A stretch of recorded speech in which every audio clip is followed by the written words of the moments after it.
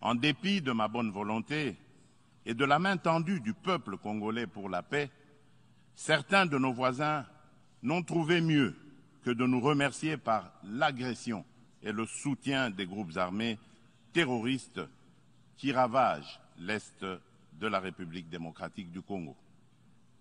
C'est le cas actuellement du Rwanda qui, au mépris du droit international, de la charte de l'ONU et de l'acte constitutif de l'Union africaine, a une fois de plus non seulement agressé en mars dernier la République démocratique du Congo par des incursions directes de ses forces armées, les RDF, mais aussi occupe des localités de la province du Nord Kivu par un groupe armé terroriste interposé, le mouvement du 23 mars, dit M23, auquel il apporte un soutien massif, tant en matériel de guerre qu'en hommes de troupes. Et comme pour défier la communauté internationale, le M23, avec le soutien de l'armée rwandaise, a même abattu un hélicoptère de la MONUSCO et tué huit casques bleus, commettant ainsi un crime de guerre. Je dénonce, en ce lieu emblématique de la vie internationale, avec la dernière énergie, cette énième agression dont mon pays est victime de la part de son voisin le Rwanda, sous couvert d'un groupe terroriste dénommé le M23. Monsieur le Président, l'implication du Rwanda et sa responsabilité dans la tragédie que vivent mon pays et mes compatriotes des zones occupées par l'armée rwandaise et ses alliés du M23 ne sont plus discutables, dès lors que plus d'une fois, aussi bien que les groupes d'experts dûment mandatés par l'ONU et le mécanisme conjoint de vérification élargi Bonjour Alaï, bonjour. Bonjour. Militant de droits humains à Goma, euh, fils du Nord Kivu. Nous vous recevons pour vous comprendre et, et analyser? Vous avez suivi les discours du président Tshisekedi hier euh, devant ses homologues euh, chefs d'État africains et tous les présidents, il faut le dire, du monde entier au niveau de l'Assemblée générale des Nations Unies, il faut le dire comme ça. Comment vous analysez les discours du président Tshisekedi en général? Euh, premièrement, d'abord, c'est quelque chose à saluer. Les discours du président Félix Tshisekedi étaient tellement un discours audacieux, un discours euh, lucide, si on peut le dire ainsi. Et il est passé sur la question de l'agression rwandaise. Il n'est pas passé sur le dos de la cuillère, il a dénoncé. Il a également euh, demandé au Conseil euh, de sécurité de permettre à nos FARDC de toujours se procurer en armes.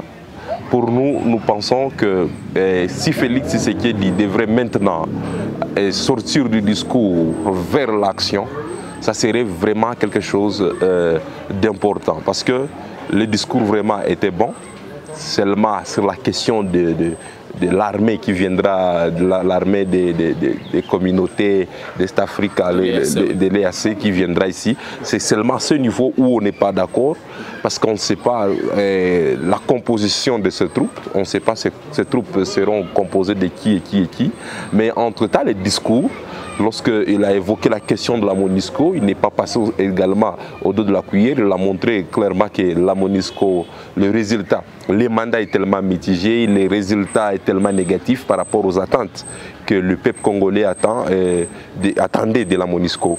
Et il a également euh, dénoncé l'agression rwandaise. Il a également dénoncé cette alibi rwandaise qui, les, les Rwandais dit toujours qu'ils viennent chercher ici les FDLR et que les FDLR collaborent parfois avec notre armée. Et Félix Sekedi, il n'est pas passé au dos de la cuillère. Il a également dit que notre peuple ne sera jamais génocidaire. Le peuple congolais n'a jamais été impliqué dans les cas de génocide.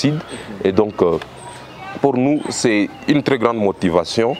euh, que Félix Sekidi nous a encore donné. Euh, c'est un message également d'espoir de, nous prouver qu'il a porté les voix des Congolais, les messages des Congolais aux tribunes des Nations Unies. Ce n'est pas comme d'habitude, mais aujourd'hui, nous sommes quasiment satisfaits vraiment de, de son discours. Alors, comme vous l'avez dit, en tout cas, du haut de la tribune des Nations Unies, Tshisekedi, encore une fois de plus, dénoncé à voix, en tout cas, l'agression de son pays par les voisins. Là, je parle du Rwanda. Selon vous, est-ce qu'il faut continuer encore à dénoncer ou bien il faut, il faut faire quoi concrètement? C'est ce que je disais, que ce discours doit maintenant prendre le corps, ce discours doit sortir dans les, dans, dans- les sphères de théorie et entrer maintenant dans les sphères de pratique. Donc il est temps que Félix Sekedi entre en pratique, il est temps que Félix Sekedi sorte du discours et entre en pratique. Il sait très bien que l'armée rwandaise est sur le sol congolais. Il n'est pas question de penser à des négociations, il est temps comme il a dit, il est temps que nos forces armées puissent monter en puissance et chasser eh, les insurgés rwandais qui sont sur notre sol, et les chasser, les, permettre eh, aux Congolais de contrôler eh, l'intégrité nationale de son pays. Alors, euh, comme nous profitons par là, en tout cas, de ce que le président Tshisekedi, de son discours hier euh, au niveau de New York. Alors, parlons aujourd'hui, on sait que la communauté internationale commémore la journée, en tout cas, dédiée à la paix. Est-ce qu'aujourd'hui, quelqu'un du Nord Kivu, un fils du Nord Kivu, peut parler aujourd'hui de la paix? Je pense qu'on peut parler de la paix, mais on ne peut pas célébrer la paix parce qu'on n'a pas la paix. On peut parler de la paix parce qu'il faut l'imaginer. On ne peut pas euh, chercher à construire une paix qu'on n'a pas encore imaginée. Comment est-ce que cette paix deviendra? Quelle est cette paix qu'on est en train de chercher? Je pense qu'il est important pour nous d'imaginer la paix et de construire la paix. Ce n'est pas vraiment cohérent ou soit normal de célébrer la paix. Aujourd'hui, nous personnellement, nous nous sommes engagés, nous avons pris des assises avec plusieurs jeunes pour leur donner de l'engagement, leur transmettre l'engagement citoyen, leur montrer que l'engagement citoyen est une brèche et, et- est une brèche qui peut nous amener vers la paix. Sans l'engagement citoyen, sans l'esprit patriotique, on ne parviendra jamais à construire la paix longtemps cherchée. Aujourd'hui, journée internationale de la paix, on ne sait pas eh, qui avait euh, baptisé cette journée comme étant journée internationale de la paix, quelle était sa motivation. Mais d'abord, nous, ça, ça- ça nous donne l'occasion de repenser la lutte qui peut nous amener la paix, repenser les combats, repenser notre engagement et de nouvelles stratégies qui peuvent amener notre pays et surtout euh, sa partie est vers la paix. et, et selon vous, qu'est-ce qui doit être fait pour que cette paix tant attendue par les peuples congolais soit une réalité? Moi, je pense que pour que nous puissions vivre la paix, nous devons d'abord sortir, sortir de, de- de la théorie. Les Congolais, nous sommes habitués à la théorie. Nous devons également comprendre que les gens qui sont, en train- qui, qui- qui sont censés, qui ont cette mission de nous ramener la paix, c'est nos FARDC et ainsi que notre police qui est censée aussi nous sécuriser. Et donc, il est important que nos autorités puissent mobiliser les budgets, l'énergie, ainsi que leur euh, attention vers les secteurs, vers le ministère de l'Intérieur et le ministère de Défense, afin que ces deux ministères puissent prendre euh, leurs responsabilités et puissent avoir les capacités eh, d'agir et les capacités d'attaquer ceux-là qui pensent euh, être acteurs de la guerre ou soit ceux-là qui pensent euh, déstabiliser l'Est de la RDC. D'accord. Euh, Peut-être l'avant-dernière question, parlons aussi de cette actualité. En tout cas, après avoir installé l'administration fiscale, la monnaie rwandaise et ougandaise, en tout cas, les rebelles du M23 appellent les investisseurs et commerçants à venir investir à Bunagana et disent non d'ailleurs à la corruption et ni alors aux commissions de 20%. C'est un peu quand même, c'est comme euh, une insolite, mais quand même on peut analyser parce que c'est une actualité, c'est un appel. C'est, du c'est- M23. oui, c'est une actualité, mais c'est aberrant. C'est aberrant de prendre ça comme une actualité eh, qui peut construire. Nous savons très bien qu'ils sont là pour déstabiliser. Ils sont là pour tuer. Ils sont, ils- nous, nous considérons aujourd'hui l'M23 comme un groupe terroriste. Et d'ailleurs, les opérateurs économiques qui, qui peuvent se donner l'audace, ou soit qui, peuvent- qui peuvent se donner ce temps-là, d'aller et investir à à Bunagana. Euh, une cité contrôlée par l'armée rwandaise, je pense que ce n'est pas aussi. rwandaise, c'est un- c'est l'M23, quoi. L'M23 n'existait pas, il y a l'armée rwandaise qui contrôle Bunagana. Je pense qu'il serait en train d'accompagner d'une manière ou d'une autre le M23 et le, le M23 aura de l'argent. Comme, comme je, je l'ai toujours dit, le Bunagana, c'est un centre économique pour le Nord Kivu et Bunagana, contrôlé par le Rwanda, c'est le Rwanda qui bénéficie économiquement et ce n'est pas encore à nous de continuer à enrichir nos agresseurs et, qui, qui- sont en train de, de- de piétiner même notre monnaie. Montrer qu'à Bunagana, sur le sol congolais, les monnaies, donc la monnaie, les francs congolais n'ont plus d'importance à Bunagana. Il n'y a que les francs rwandais et les ou- ougandais. Et pour nous, je pense que c'est une insulte et nous ne devons pas accompagner ce genre d'action, quelle que soit la nature et que ces actions portent, nous devons nous battre contre ce genre eh, d'actions. Les propos du secrétaire général de l'ONU suscitent en tout cas colère et indignation. Comment vous, côté Lucha, vous analysez cela?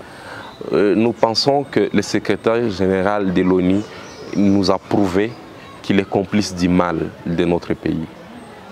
Dire que les Nations Unies, l'armée, la MONUSCO, n'a pas l'armement pour combattre l'M23, c'est craché même sur les mémoires de tous ces pays qui se sont réunis euh, dans la 72e 77e se- euh, session des Nations Unies.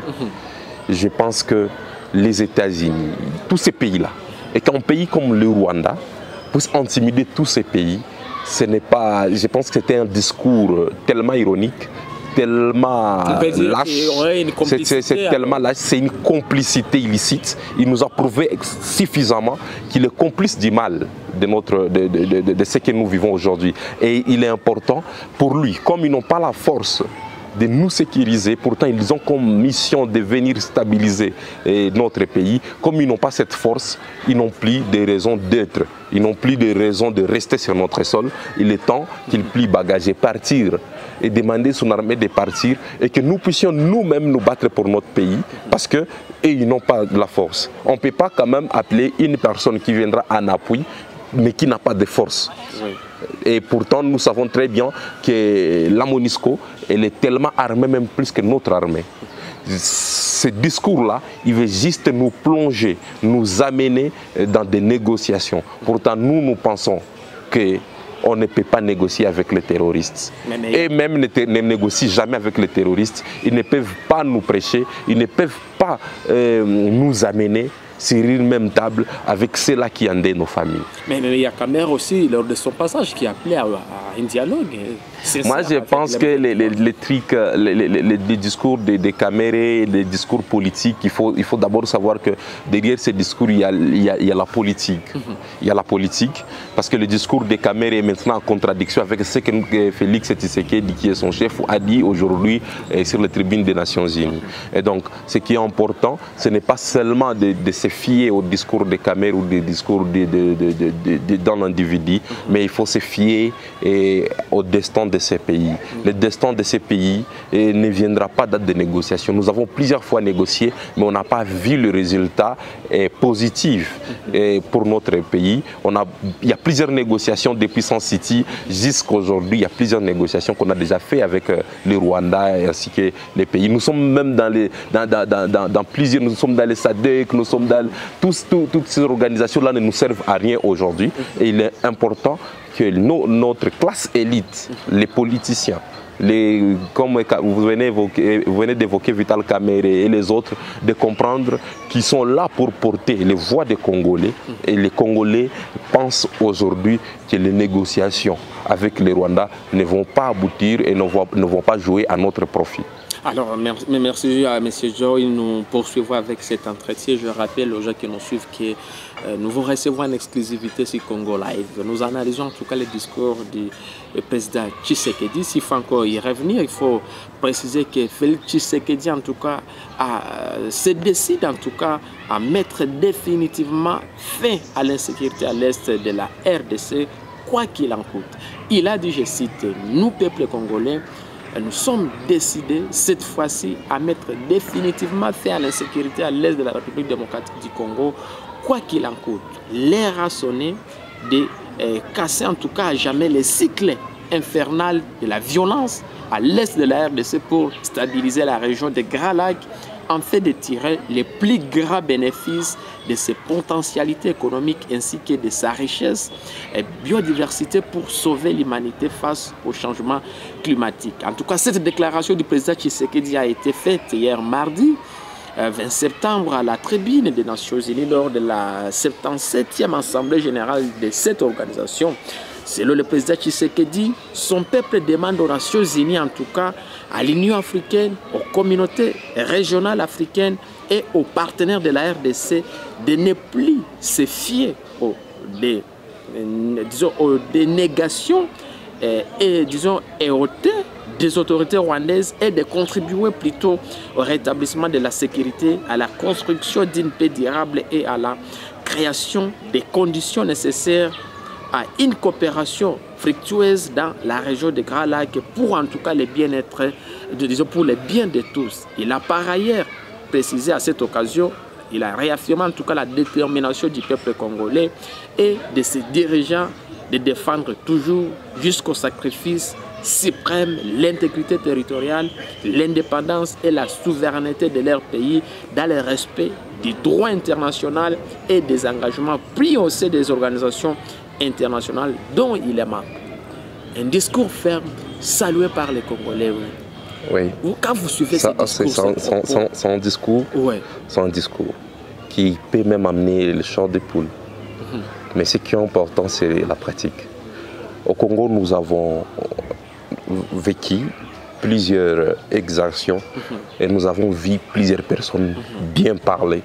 Et lorsqu'ils parlaient, on sentait déjà que la paix, est- on Est la, déjà on- là, la ouais. paix est déjà là, on approche déjà vers notre euh, destin, Et cette oasis de paix là que tout le monde chante. Mais le grand problème, c'est de sortir le discours vers les actions. Je pense que le discours là de Félix Sekedi est salué personnellement par moi-même et également par plusieurs Congolais. Et il est important maintenant que Félix Sekedi sorte du discours et entre en, en action. Parce qu'il ne serait pas euh, mieux que Félix Sekedi reste dans des discours. Depuis qu'il est président, nous avons beaucoup entendu des discours. Il a dit qu'il va faire le Congo l'Allemagne de l'Afrique. Mais il y a quand même certaines, Il a- il a certaines vu- avancées. il a hein. il- moi, je- pour moi, je n'ai pas encore vu le secteur qui évolue mieux depuis que Félix Sekedi est président. Mais ce qu'il a fait, la volonté qu'il manifeste lorsqu'il parle, ça prouve à suffisance qu'il peut faire quelque chose. Mais on peut dire que c'est un problème d'entourage ou bien c'est quoi? Voilà. Nous pensons, nous l'avons vécu avec le- le- le- le- la, la vidéo qui circule sur un de ses conseillers et qui, qui s'est vanté que c'est lui le président. Et nous avons compris qu'il y avait une mégestion au sommet de l'État 20%. avec les affaires des 20%. On a compris qu'à un niveau, le président peut avoir la volonté, mais malheureusement, il gère les pays, la nation, comme un club d'amis comme euh, une petite association d'amis où ils, ils peuvent évoluer seulement comme ça. Et donc, Félix Sekidi doit quitter, quitter les discours et entrer dans les actions. D'accord, d'accord. Merci. Alors peut-être pour finir, l'actualité aussi l'oblige. Nous avons suivi l'arrestation du général euh, Philémoyave, euh, en tout cas accusé de haute trahison, selon plusieurs sources, mais jusque-là, il n'y a pas vraiment euh, la, la vraie raison, cause alors de son arrestation n'est pas encore dévoilée. Selon vous, comment vous analysez d'abord ce- ce- ce- cette arrestation?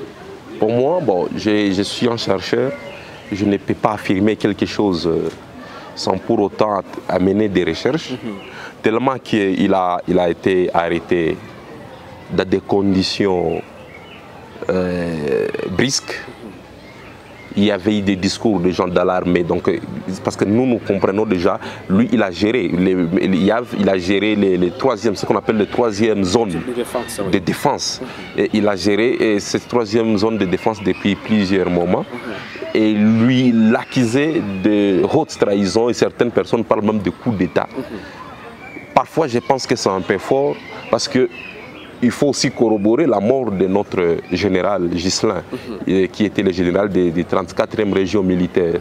Est-ce que ce n'est pas une vague où certaines personnes sont en train de se débarrasser d'autres personnes dans l'armée, ou soit est-ce que tout ce qui s'est passé est vrai? Donc jusque-là, il y a encore des questionnements, et comme il est encore présumé innocent, vu qu'il n'a pas été, jusque-là, il n'est pas condamné, il est encore présumé innocent, je pense que c'est la Cour opérationnelle militaire qui va, qui, va, qui va statuer sur cette question. Je ne peux pas personnellement prendre des- des propos tellement euh, clairs à ce niveau, mais des questions qu'il faut se poser. Il n'y a pas deux jours où on a dit parmi les autopsies que le, le général Ghislain il est mort de, de- de poison. Est-ce qu'on peut dire son arrestation? Des, des poisons. Et aujourd'hui, on a maintenant Yav qui est arrêté euh, parce qu'il est présumé euh, de haute trahison et Est-ce que sur également. son arrestation aujourd'hui, on peut dire que c'est un pas dans, le sens où euh, les régimes en place prônent l'état de droit parce qu'on a vu dans des régimes sortants, il y a eu des intouchables où on ne pouvait pas voir facilement un général être, arrêté. être- être arrêté ou un ministre ou je ne sais pas qui. Bien sûr, c'est un pas vers un état de droit, je ne peux pas refuser. C'est un pas vers un état de droit parce qu'il y a déjà des suspicions. Lorsqu'on t'arrête pour, pour, pour, pour- pour- pour une infraction, donc il y a déjà des suspicions. Tu es présumé, et peut-être coupable, tu es présumé innocent, mais d'abord il y a des charges contre toi. Je pense que c'est à Yav de prouver qu'il est innocent. C'est ça l'état des droits. Et lorsqu'il y, a, lorsqu'il y, a, il a des- il y a des soupçons sur toi, tu dois être arrêté parce que tu constitues, la justice pense que tu constitues une menace.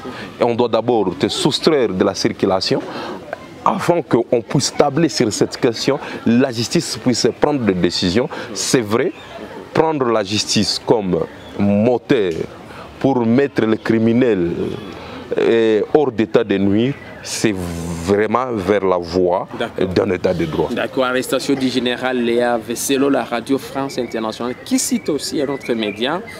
Euh, en tout cas, cet officier était constamment en communication avec le général rwandais James Kabareba, conseiller d'ailleurs spécial en matière de sécurité du président rwandais Paul Kagame.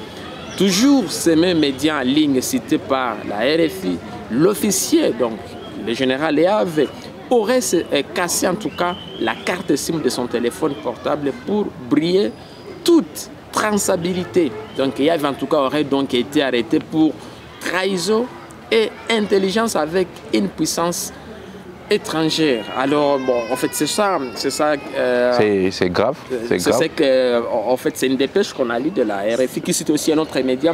Mais pour finir, parce que nous attendons aussi que la justice euh, militaire Oui. nous dise euh, clairement. On a besoin, on a besoin d'un éclairage Parce qu'il faut euh, de la justice. qu'il y avait aussi, on l'a vu, un combattant, un général, un vaillant militaire en tout cas, qui a, a combattu pour défendre l'intégrité de la RDC, donc du pays en général, et pour la protection euh, des Congolais, parce que moi-même, personnellement, je l'ai vu dans plusieurs euh, fronts, en train en tout cas de combattre pour l'intérêt de, De la nation. Il a servi sous le drapeau. Il a servi en tout cas les Oui. pays.